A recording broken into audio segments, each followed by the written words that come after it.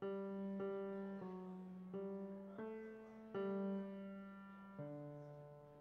you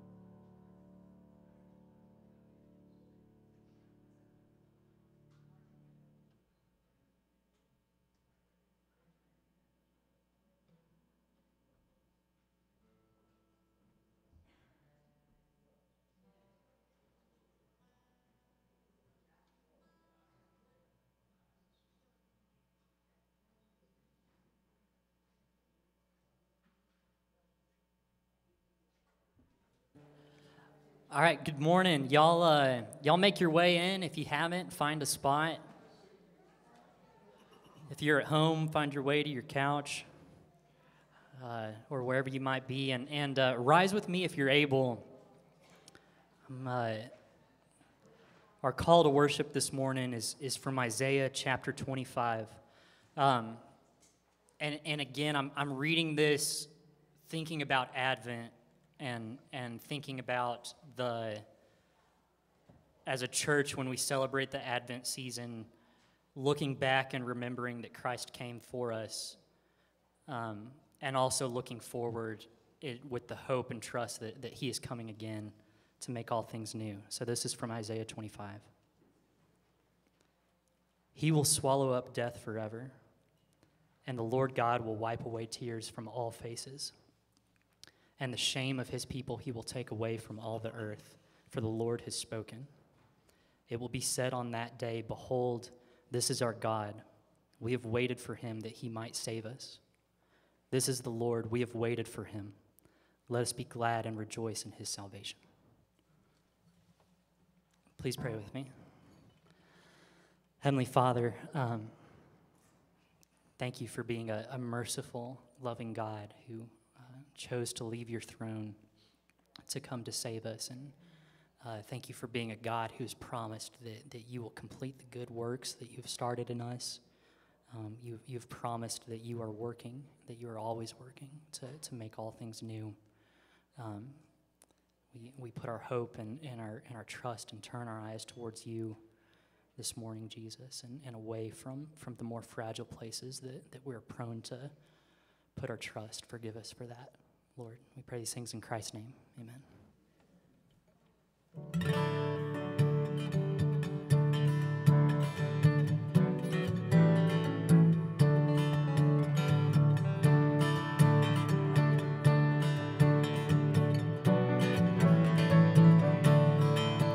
While shepherds watch their flocks by night, all seated on the ground,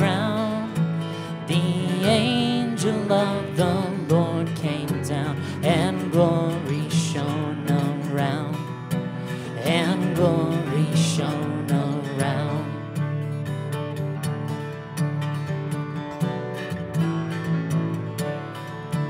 Fear not, said he, for mighty dread had seized their troubled mind. Glad tidings of great joy I bring to you to you and all mankind. Oh, tidings of comfort and joy, comfort and joy. Oh,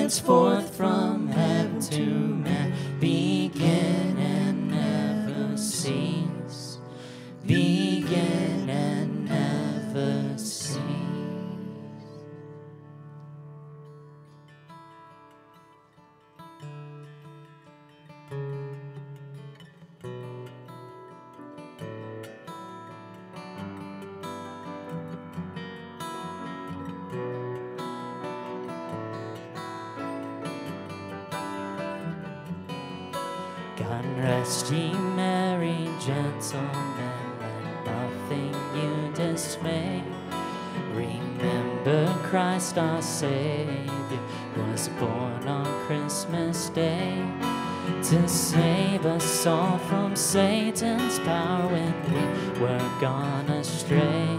Oh, tidings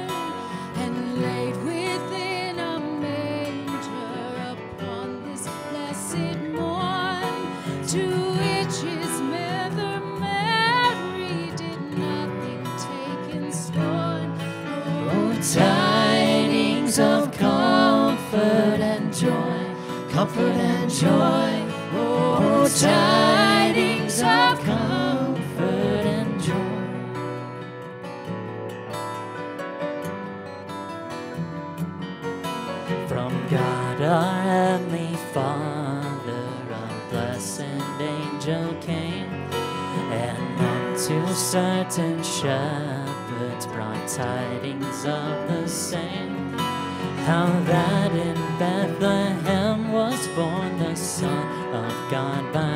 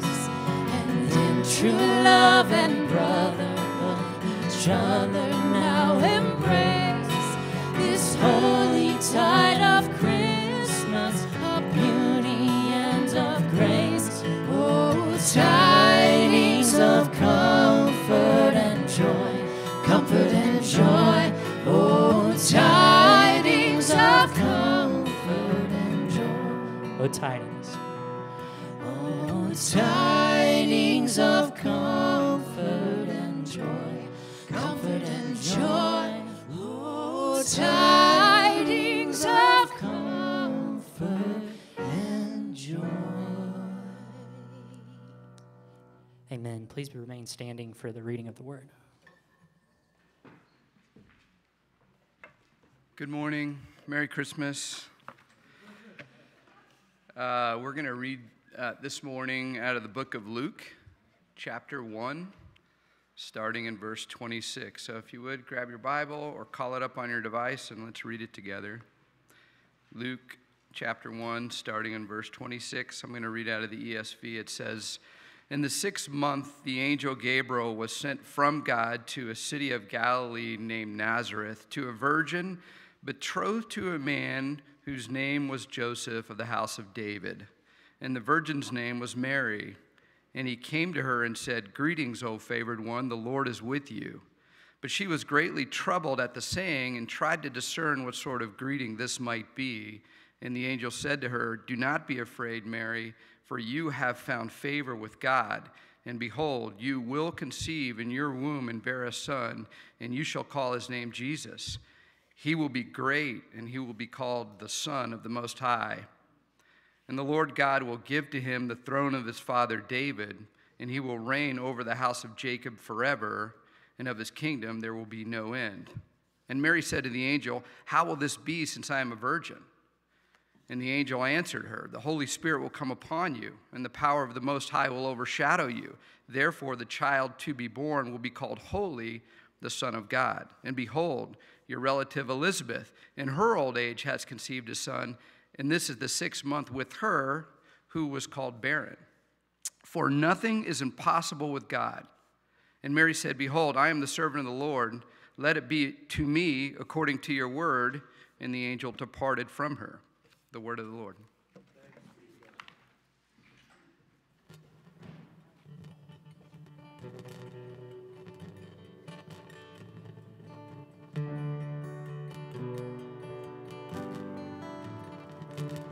Let's prepare our hearts for communion together. Let's uh, cry, cry this out together. Come, expect of Jesus. And I, uh, especially the last, uh, the last line of this song by thine all sufficient merit, raise us to thy glorious throne. Come, thou long expected Jesus, born to set thy people free from our fears and sins. Release us, let us find our rest in thee. Israel's strength and consolation, hope of all the saints thou art, dear desire.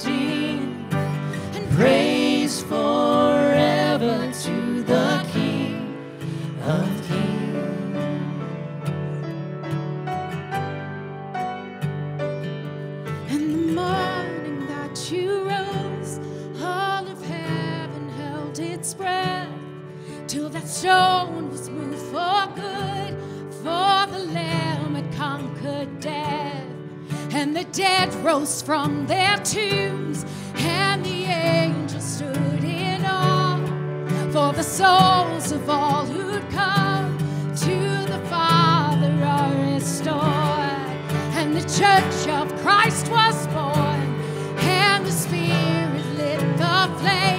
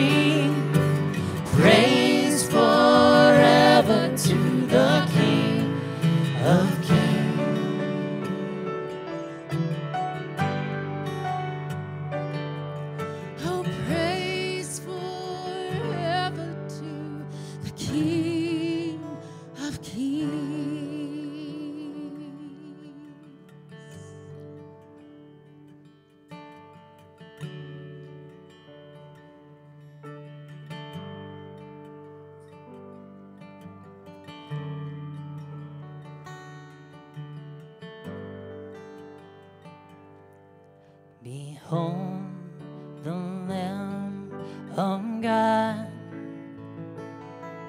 who takes away our sin. Behold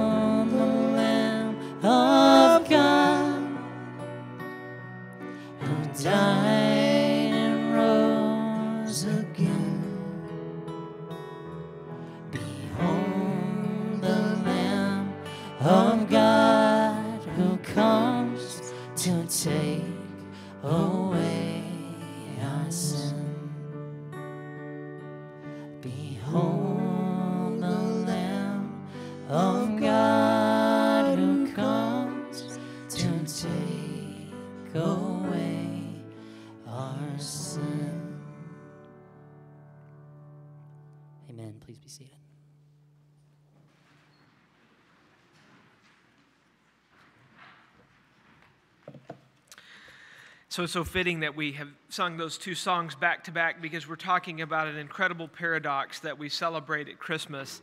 Uh, we celebrate every Sunday here in this church, actually. But um, we're talking about the birth of a person who was both King of Kings and a sacrificial lamb. This is amazing. When we think about the birth of Christ, we often think about the baby, uh, the life, the King of Kings aspect of it, where the, the wise men brought gold, frankincense, and myrrh, gifts fit for a king to this baby uh, born uh, in a stable in a very lowly place.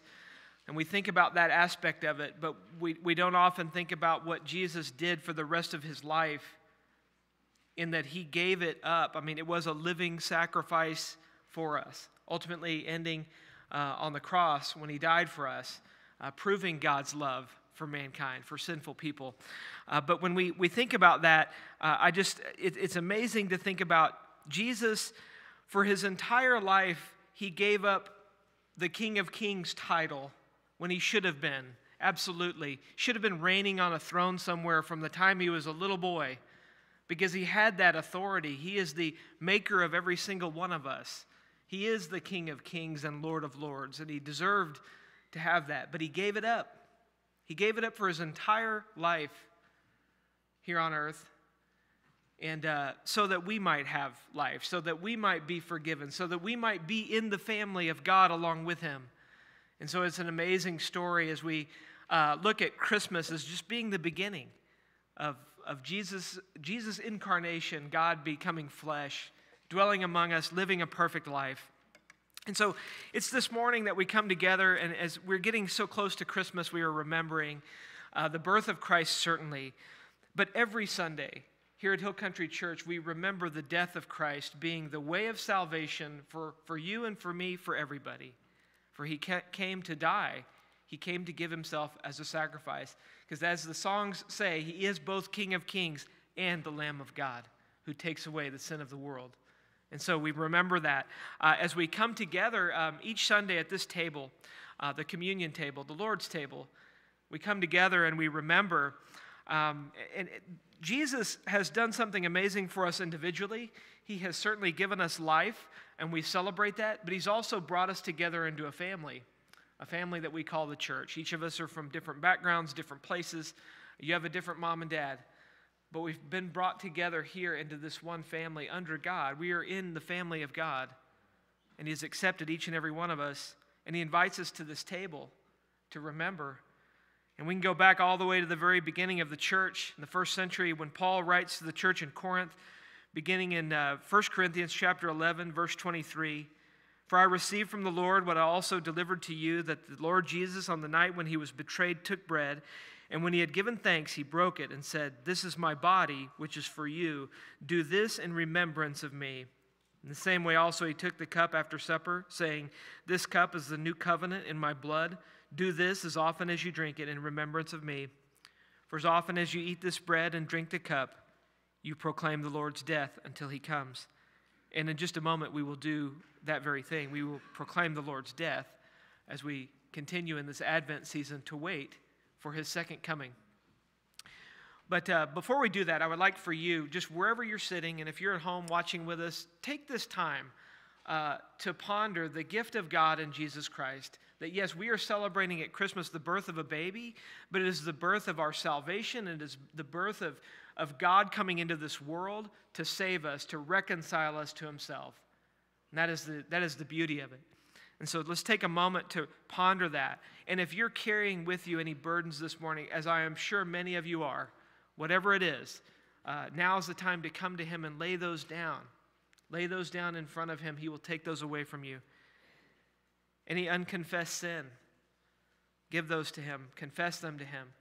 Um, we are told in Scripture that uh, He is always faithful and just uh, to, to cleanse us of all unrighteousness, to forgive us of our sins if we come confessing them to Him. So take this moment, wherever you're sitting, silently between you and God, uh, thinking of these things, confessing, remembering, um, and asking for uh, His blessing on you at this time.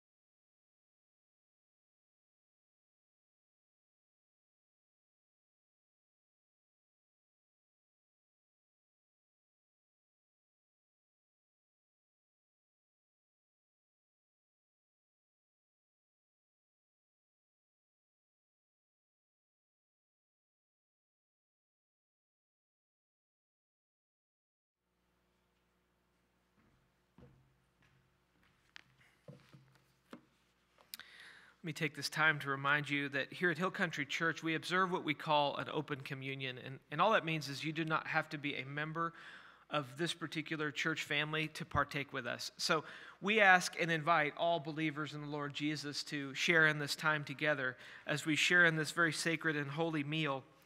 Um, on that note, if you would uh, look in the pew racks in front of you, uh, you'll find a little juice cup, a prepackaged communion set uh, with a wafer on top. If you want to go ahead and pull one of those out, we'll go through this together. And if you do not have one right in front of you, they are stationed all around this room, the windowsills, they're in the back. Um, so I'm sure you can find one. Okay, uh, so let us do this together. And of course, remembering the words of Christ as we do it. And so if you want to peel back the top part, uh, the clear cellophane, and pull out the wafer, if I could do this.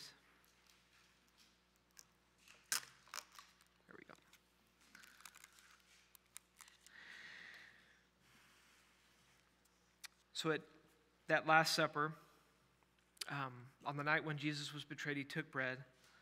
And when he had given thanks, he broke it and said, This is my body, which is for you. Do this in remembrance of me. Take and eat.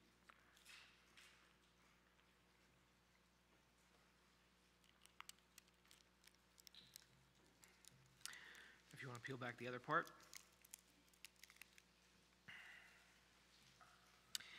In the same way, also, after supper, he took the cup, saying, This cup is the new covenant in my blood. Do this, drink this, as often as you do it, in remembrance of me.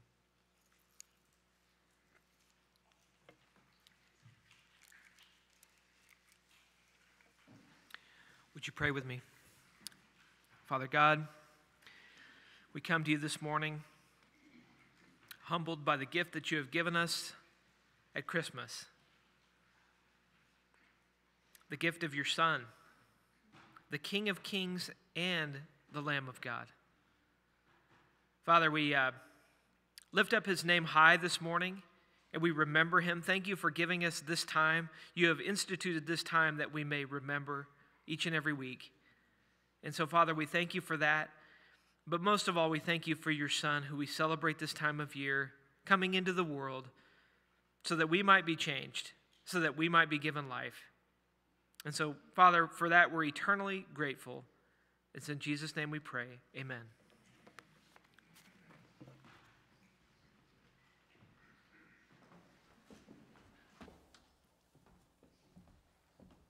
Please stand with us. We're going to respond to our time of communion with Joy to the World. And I learned recently that when Isaac Watts wrote these words, uh, definitely an Advent song, but, but he was imagining Christ's return uh, when, when he wrote these words. And so um, would just encourage you in that to maybe you know, use your imagination, access the longing in your heart for uh, reuniting with our, with our Jesus who comes to make his blessing flow as far as the curse is found.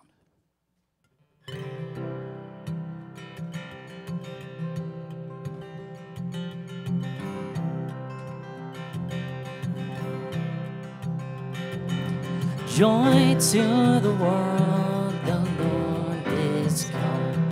Let earth receive her King. Let every heart prepare him room. And heaven and nature sing. And heaven and nature sing. And heaven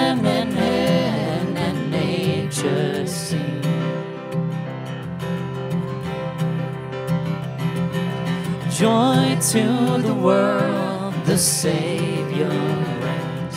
Let men their songs employ, while fields and floods, rocks, hills, and plains repeat the sounding joy, repeat the sounding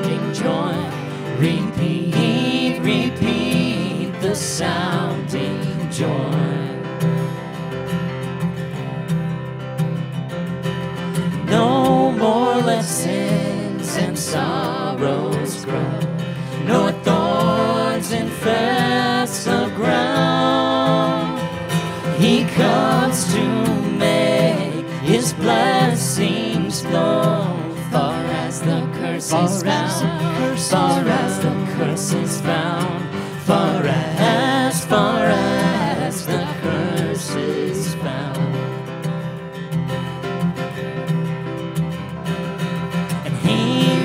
Rules the world with truth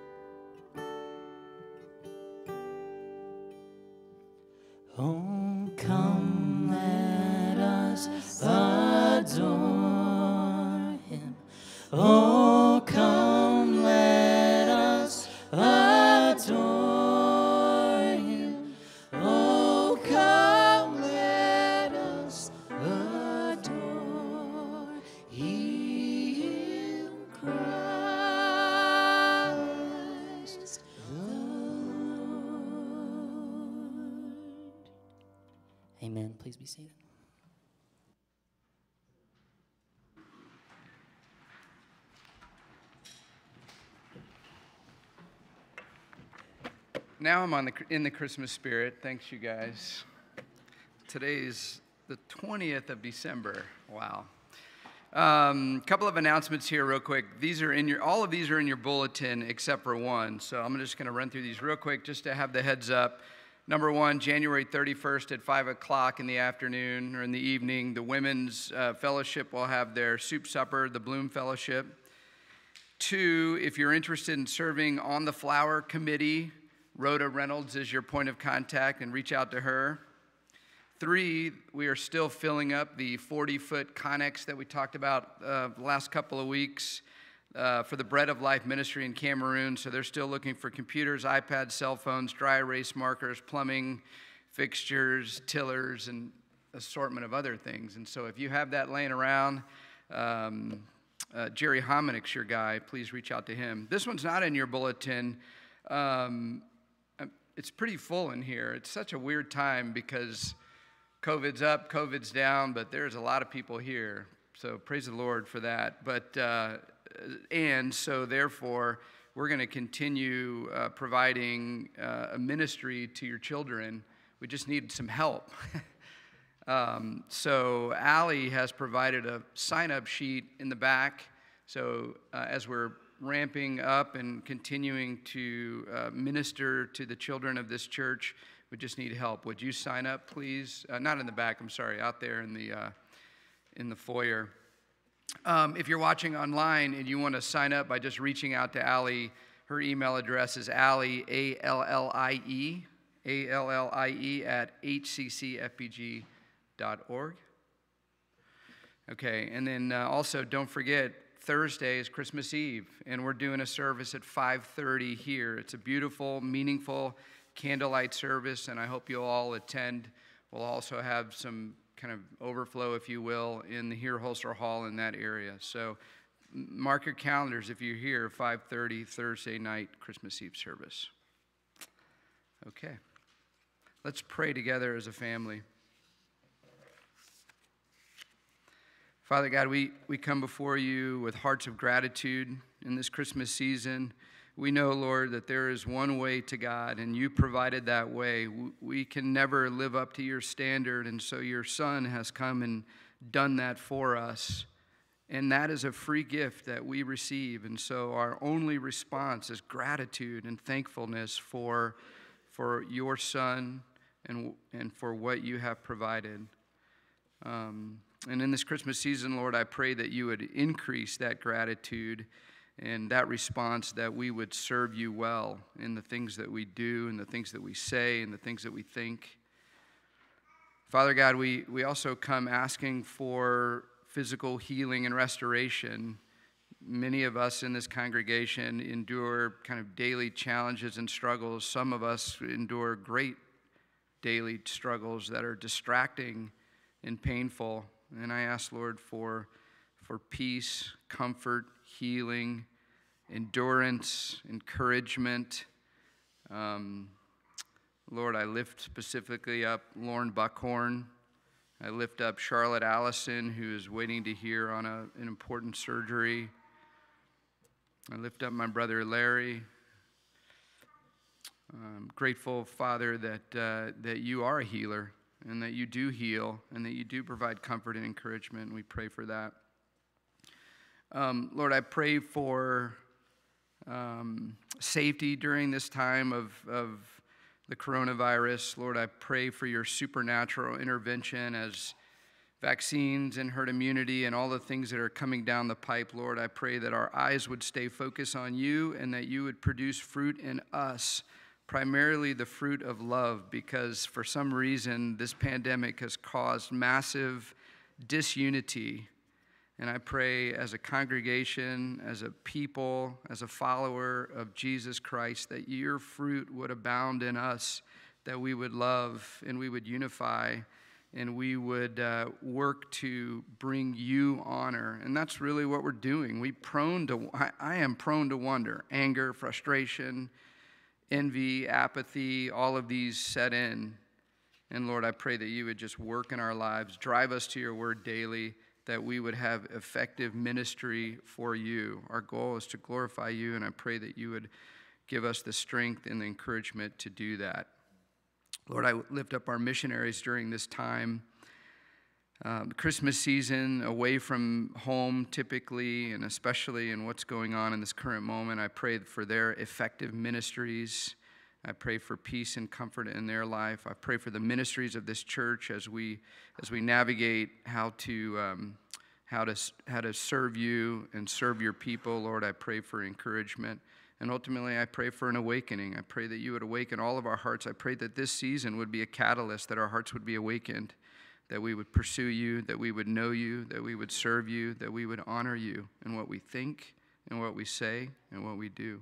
Our hearts are eternally grateful, Father. It's in your name we pray. Amen.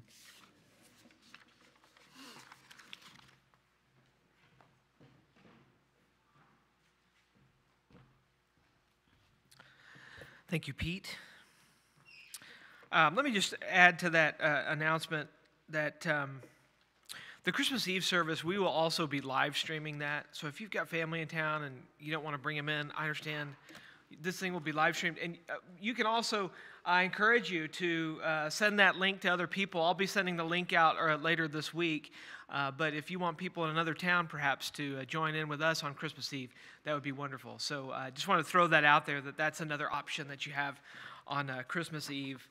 So uh, if you have your Bible with you this morning, I invite you to turn with me to the letter of First John. Surprise, surprise, we're back there.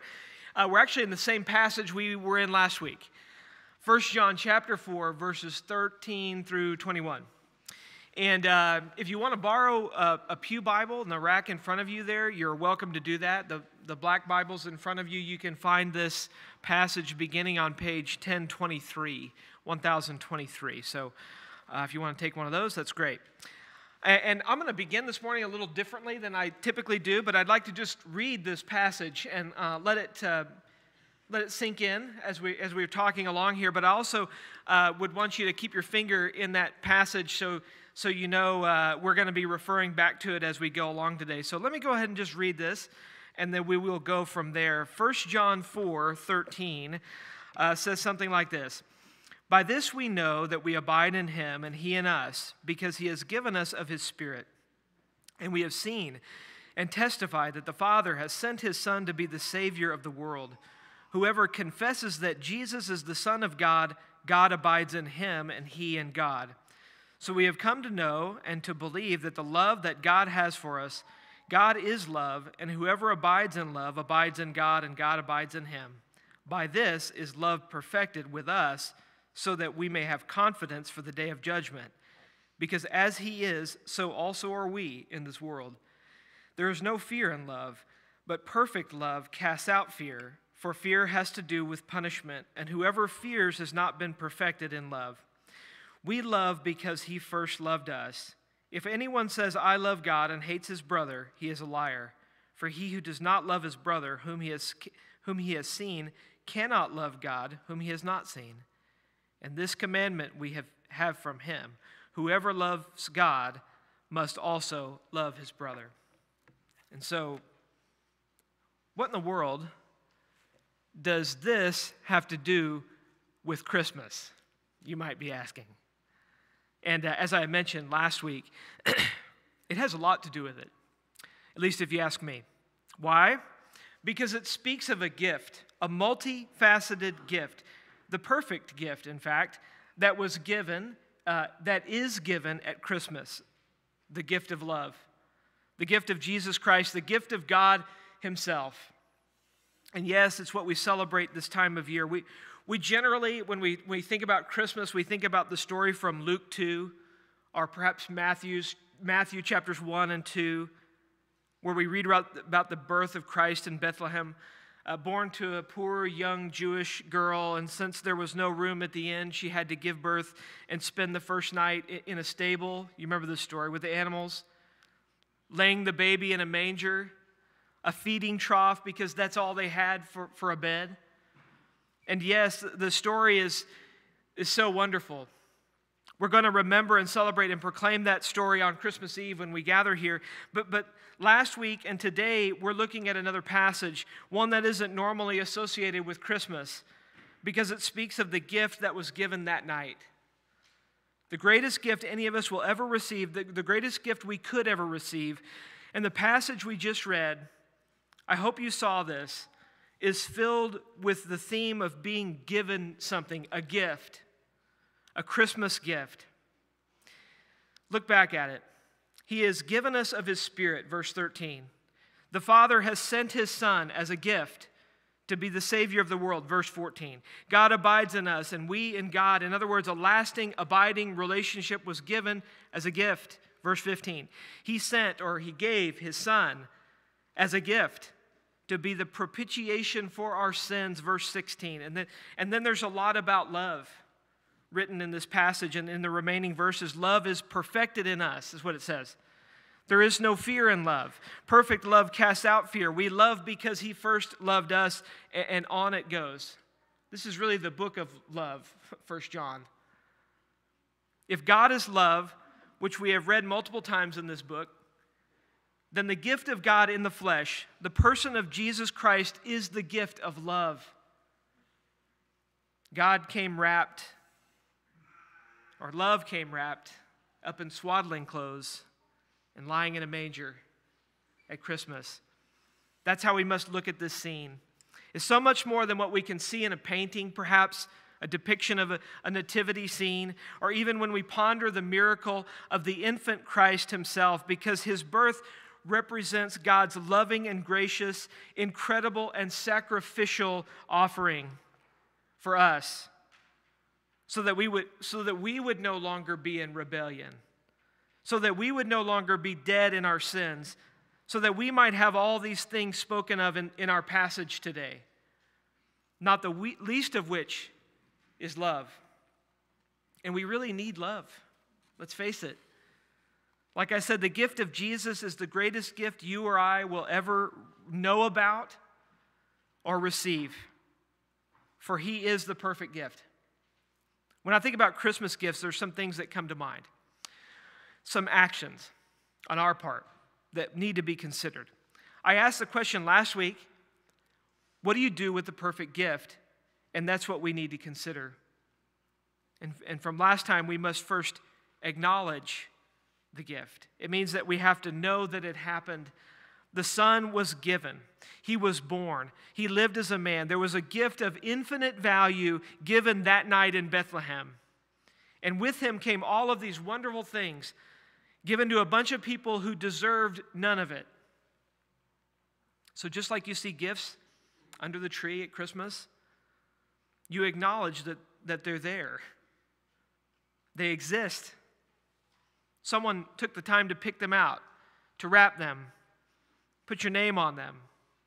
To deny their existence is simply foolish, but I suppose some people might try because they, they try all the time to deny the existence of the perfect Christmas gift, acting as if it never really happened and that it's all a figment of someone's imagination, relegating the birth of Christ to the scrap heap of historical myths.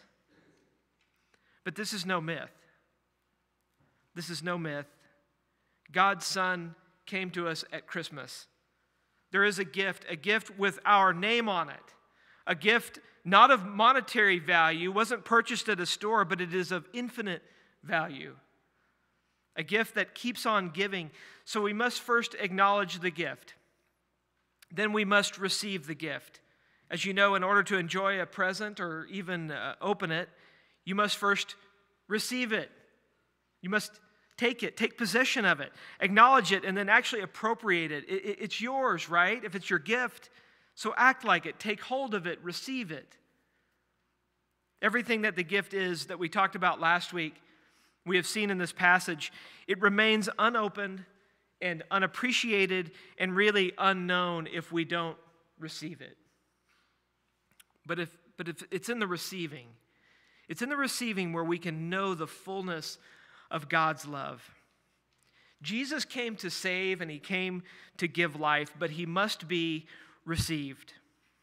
It's not enough just to know all the facts about him or believe that he came to this earth or that he performed miracles or even that he died for sinful human beings. It's not enough to know. For it says in James 2:19, "You say you have faith, for you believe that there is one God. Good for you. Even the demons believe this and they tremble in terror. The gift must be received. John himself in his gospel, chapter 1 and verse 12 says, But to all who did receive him, who believed in his name, he gave the right to become children of God. And so when we receive him, that's when that's what we become. We become his children. Our hands, our hands need to be out and ready to receive what he has brought to us at Christmas. We don't do anything to, to earn the perfect gift, but we must bring open hands to the gift giver. So when we come, we come to him, we come with our hands empty, open to God, and he gives us this incredible gift, the gift of his son, which we celebrate at Christmas. But then, what is the best part about receiving a gift? It's opening it. I think of the many Christmas mornings I, I woke up and, and I ran into the living room and, and saw the gifts wrapped under the tree. Those moments are they're etched into my mind. And so with my own kids, the same thing happens. Some of my favorite memories are watching them do the same thing. And they are they are so excited. They kind of hide just outside the room uh, until mom and dad have their coffee. That's kind of how we roll at the Holster household. Uh, they're not allowed to open their presents uh, until we're all gathered around, we're all there, and, and mama and I have our coffee, right? That's the order of events. But then, how crazy would it be? Put yourself in that situation. How crazy would it be if we just sat there and we looked at the presents? Admiring the wrapping paper and the bows and not opening them. That'd be crazy.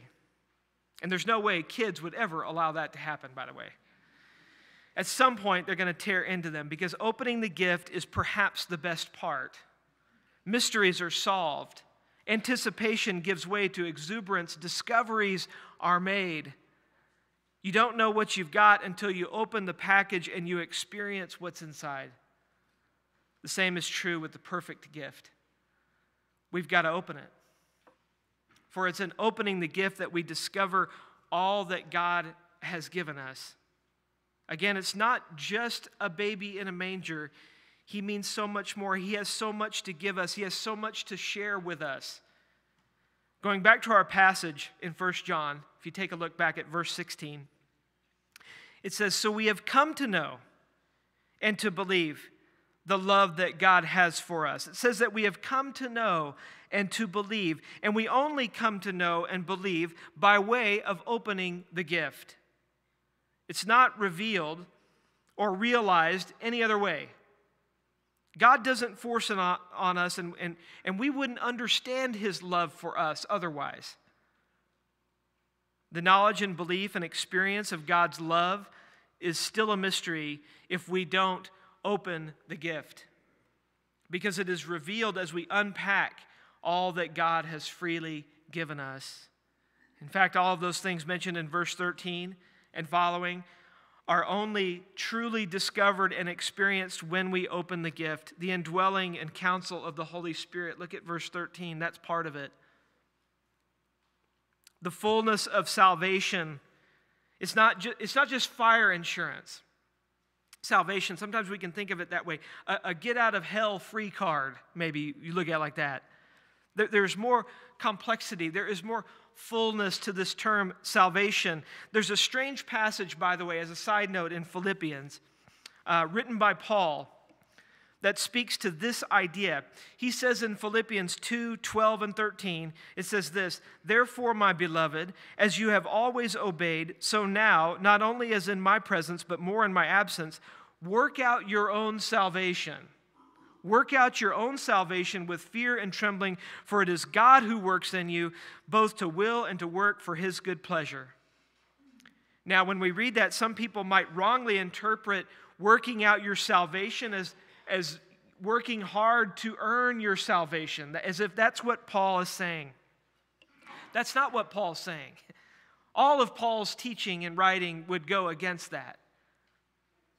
But that's so that's not what he's saying. He's saying open the gift. Open the gift of salvation. There is more to it. See and understand what is there. There's so much more than just escaping the fires of hell. There's a quality of life to enjoy that goes with it. For it is God who works in you both to will and to work for his good pleasure. In other words, there's more work God wants to do in your life than to simply make sure that you go to heaven. You're, you're good with that. Salvation is a gift that needs to be opened and discovered and experienced, which I'll talk about later, that part.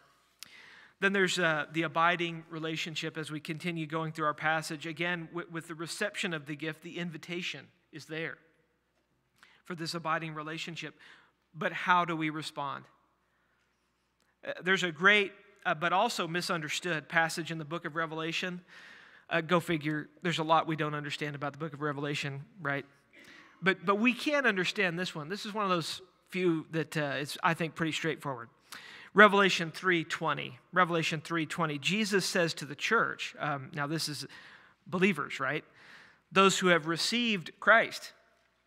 Uh, he says to the church at Laodicea, a particular church, Behold, I stand at the door and knock. If anyone hears my voice and opens the door, I will come into him and eat with him, and he with me.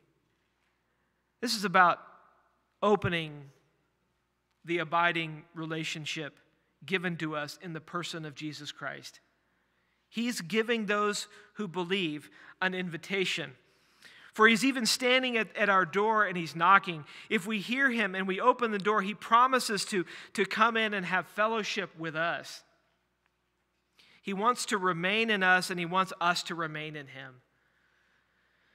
With the perfect Christmas gift, there is an invitation to open the door of our, of our innermost self and then have the opportunity to share in the life of Jesus. He'll come in and, and share a meal with us, it says. That comes when we open the gift, when we, when we open the door. When we open the gift, we are opening up our heart to a love that is not humanly possible this love is perfected in us when we open it. If we leave the gift unopened and just sitting there, we will miss the opportunity. And we won't be able to love others. We won't be able to love others with the love that should be inside each one of us. We are commanded by John once again at the end of our passage today, verse 21, to love one another. He says, And this commandment we have from him whoever loves God must love his brother. This is a theme, obviously, as we've been going through this book. But let me just say, and, and probably you know this from experience, it doesn't just happen. It doesn't come naturally. Yet we can't even love God well. We can't love our, our most loved people well. So, how are we to love others, strangers, people we don't like, people that are different than us? We must open the gift of love that we have been given at Christmas. Opening the gift is certainly a blessing in itself. And it's not until we open the perfect Christmas gift that we can truly experience the authentic Christian life that we were created to live the joy, the peace, the victory, all that comes with it. But then there is yet another step we need to take after opening the gift. We need to use the gift, or perhaps enjoy the gift, experience it, since it's something that is, is done inside of us. If there's one thing that disappoints me on Christmas, it's when my kids, or anyone for that matter, opens a gift that I really put a lot of thought into and my anticipation is running high. I can't wait to give it to them. I can't wait for them to open it. But then they open the gift and they set it aside, put it on the shelf, collects dust in their bedroom, that kind of thing. That's such a letdown when we do that. We don't give gifts so that people can keep them in the packaging. We give gifts so that people will use them. They will enjoy them. I've told you about my struggles uh, in buying Michelle gifts at Christmas and how I don't like buying clothes. This is why. Because of my fear that she'll wear it once and then she'll hang it in the closet for eternity. I, I want her to wear it, right? If I've thought about it, I've done this, I want her to wear it. When I buy my kids toys or games or whatever it is, I want them used, played, worn out. You know, my daughter, Sydney, uh, was given a, a, yellow blanket when she was just a baby. You know, kids, babies get all kinds of gifts, and that was one of them. So she doesn't remember getting it. I don't remember who gave it to her. It was just one of those things, but she loves that blanket. She has slept with it every night for her, literally her entire life. Uh, she even took it to college with her. And, and believe me, that thing is in tatters. It is. Uh, it has holes in it. It looks dirty, but I'm afraid to wash it because you know it might fall apart in there. Uh, it's literally falling to pieces. But it is beloved. It is used. It is an experienced gift. When we were packing up, uh, packing her up for college, I remember I saw that thing for the first time. She always just keeps it in her bed, but I saw that thing for the first time in years, and, and I couldn't believe it. A, that she still had it, but B, that it was still, you know, able to be in one piece. It looked, it looked terrible. But of course, she picked it up and she folded it up neatly and she packed it up with the rest of her bedding like it was the most important thing in the world, like she was not going to college without that blanket.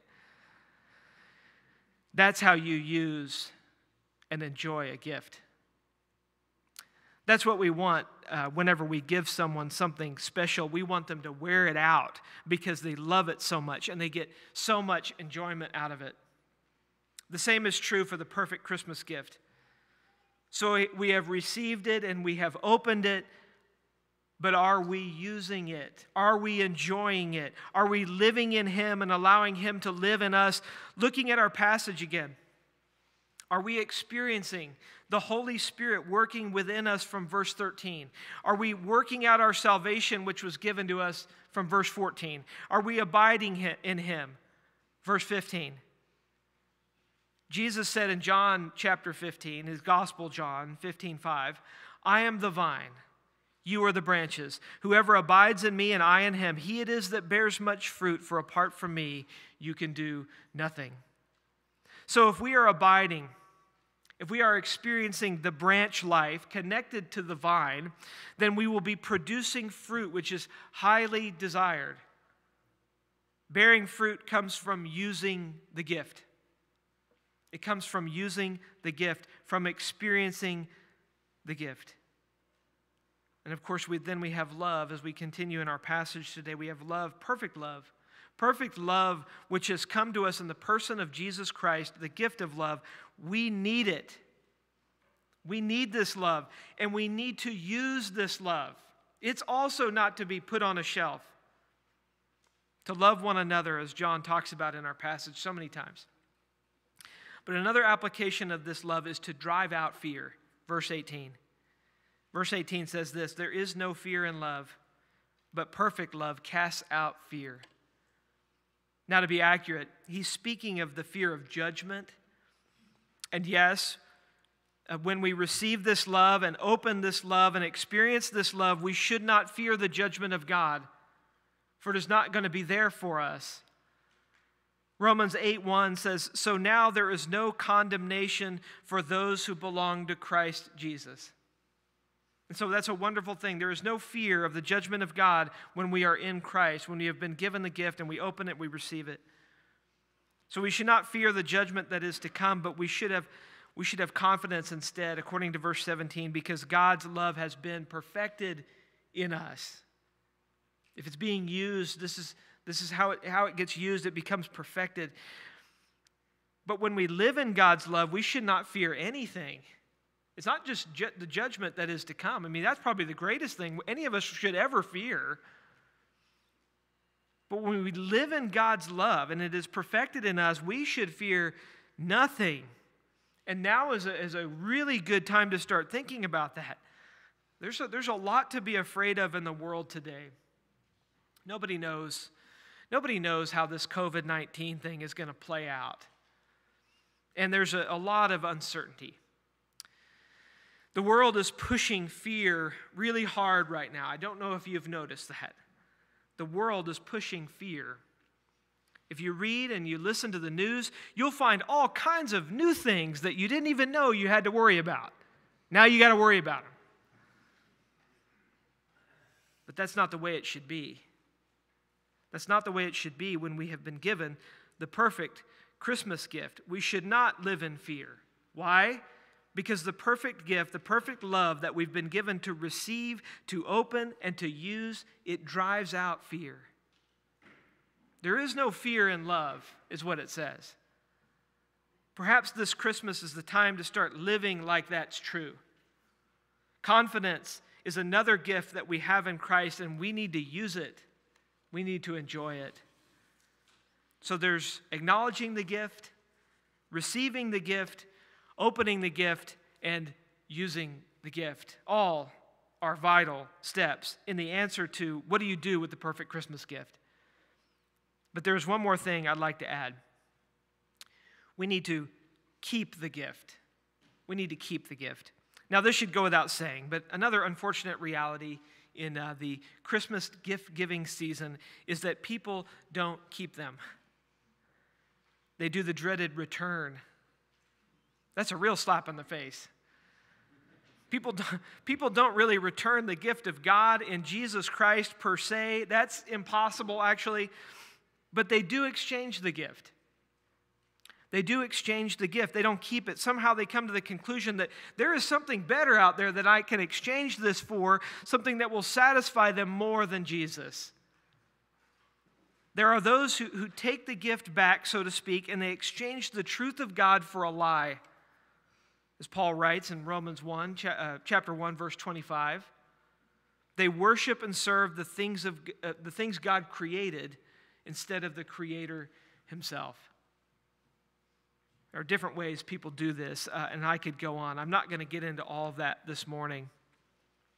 But just understand that perhaps the most valuable part of the perfect gift is in keeping it, is in keeping it, remaining in Him and allowing Him to remain in you at all times, all throughout the years of your life. Jesus didn't come as a gift to be enjoyed only for a short time. He came that we may have life and have it abundantly all the days of our life. And in going back to John's Gospel, chapter 15, verse 4 remain in me, and I will remain in you. For a branch cannot produce fruit if it is severed from the vine, and you cannot be fruitful unless you remain in me. Focus on that word, remain. Keep and relish and delight in the gift every day for the rest of your life. The perfect gift is like that. Christmas is a time when we remember it. We remember the gift, of course, but it should not be the only time that we remember it. We need to keep the gift. And by keeping it, I, I mean we keep it close to our hearts. We keep it there to let it remain in us, for He is in us. And there is nothing in the world worth exchanging Him for. Nothing could come close. Let us receive the gift, open it, experience it, and keep it all over again this Christmas. So I say, Merry Christmas to you all, and may God bless you. Would you pray with me? Father God, we thank you for the perfect gift that you gave us at Christmas, your Son, Jesus, the King of Kings and the sacrificial Lamb. Father, we are humbled by the gift. Now, Father, as we go forth from here, let us not only receive it, but let us put it to use. Let us remember and keep it and cherish it, Father, as if it's the most valuable thing in the world because it is. And so, Father, help us uh, to do that as we leave here today. And let, let this Christmas be the starting point for us, that we would go forward into the new year, into 2021, determined to use the gift that you've given us, to live in it. As you have taught us to love, you have given us love that can be given to others. Father, help us to do all those things. And Father, we thank you that although we didn't deserve it, your Son has come and He's given us a multifaceted gift that we could never even imagine. And so, Father, we, we thank you for that. It's in Christ's name we pray. Amen. Thank you, Pastor Rob. Let's stand and sing the doxology and sing it like you mean it, which I hope you do.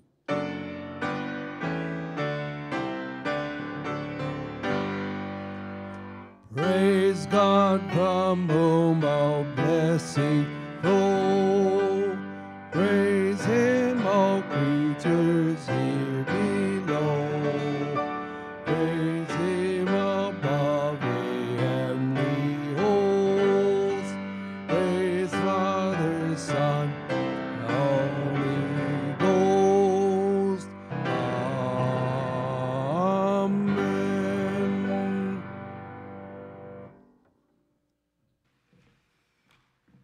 Listen to these words that Paul wrote to Timothy. It's, it says in Tim, 1 Timothy, it says, The saying is trustworthy and deserving of full acceptance, sorry, that Christ Jesus came into the world to save sinners, of whom I am the foremost. But I received mercy for this reason, that in me, as the foremost, Jesus Christ might display his perfect patience as an example to those who were to believe in him for eternal life to the King of the ages, immortal, invisible, the only God, to be honor and glory forever and ever. Amen. Merry Christmas.